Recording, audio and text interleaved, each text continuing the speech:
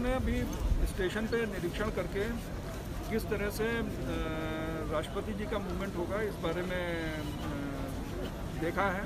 यहाँ पे उत्तर प्रदेश पुलिस के आईजी फैज़ाबाद थे और यहाँ पे जो अन्य वरिष्ठ अधिकारी हैं, जैसे डिस्ट्रिक्ट मजिस्ट्रेट और एसएसपी। वो लोग भी थे, उनके साथ हमारे आरपीएफ के पीसीएससी हैं और ये लोग डिसाइड करेंगे कि सिक्योरिटी किस तरह से हैंडल करी जाएगी।